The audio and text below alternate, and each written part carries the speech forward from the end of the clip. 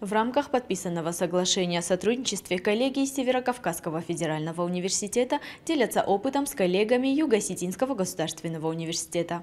Курсы повышения квалификации от специалистов Северокавказского федерального университета в Югостинском государственном университете проходят по нескольким направлениям. В частности, для преподавателей кафедры математики и физики по направлению математический анализ применения в решении прикладных задач, преподавателей кафедры инженерно-технических дисциплин по автокаду, преподавателей кафедры международной журналистики по конвергентная журналистика, преподавателей кафедр английского языка и иностранных языков, инновационные подходы к преподаванию иностранных языков и технологий в образовательной деятельности и преподавателей кафедры уголовного права, уголовное право и спецкурсы, уголовный процесс и спецкурсы. Курсы, которые наши преподаватели прошли сейчас, они э, проводятся э, СКФУ в рамках полученного ими госзадания от Министерства образования и науки Российской Федерации.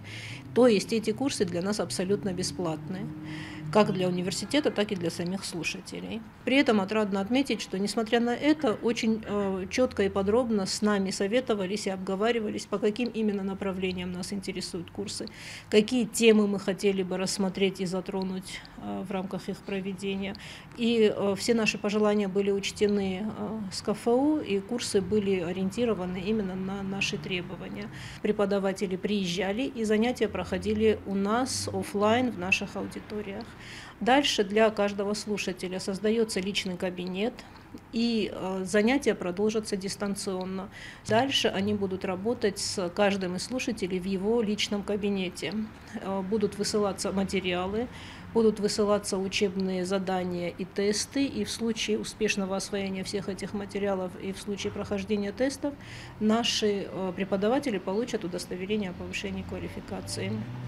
Еще один удобный э, для нас э, формат, который был на этих курсах, студенты э, старших курсов, которые показали себя активными, заинтересованными в дальнейшей работе э, и в дальнейшей связи с кафедрой, им э, также разрешили проходить эти курсы. И они получат не удостоверение, а свидетельство о прохождении этих курсов, поскольку у них пока нет диплома о высшем образовании. В дальнейшем, когда они получат диплом, э, в Ставрополе они могут обменять свое свидетельство на удостоверение. За это мы тоже благодарны нашим коллегам из Ставрополя. В целом э, наши преподаватели остались очень довольны проведенными мероприятиями.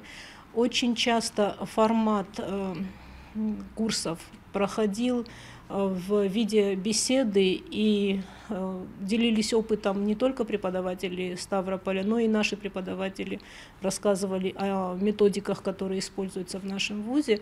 И все преподаватели, которые к нам приехали по всем пяти направлениям, они отметили, что сами очень многому научились у нас и отметили высокий уровень, что было очень приятно. Заведующий кафедрой журналистики СКФУ Андрей Горбачев с югостинскими коллегами пообщался не только по обозначенной теме. Разнообразными журналистики увлек и в другие отрасли профессий. Это на самом деле арифметически высчитанная линия. Ширина соответствует количеству людей, там, тысяч в его войске. В завершении съемочная группа Йогу ТВ поинтересовалась, чем ему запомнится Южная Осетия и, в частности, йогу. Я в Осетии первый раз я не был ни в Северной Осетии, ни в Южной Осетии, поэтому у меня первоначального, вряд ли было какое-то первоначальное представление. Я даже не думал, вот какой я хочу видеть республику, мне не с чем сравнивать. Да?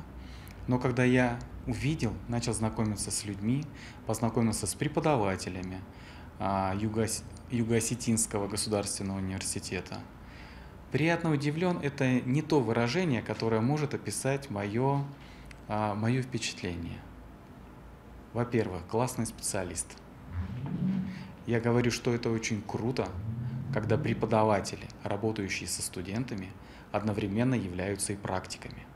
Это замечательное качество, потому что мы очень часто слышим от представителей медиаиндустрии претензии к вузовскому образованию, а, и они состоят в следующем.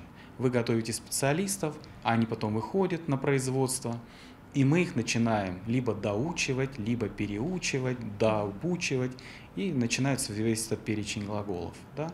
У вас ситуация в вашем университете, вот судя по моему короткому, такому небольшому впечатлению, да, а, точнее говоря, короткому знакомству ситуация обстоит иначе.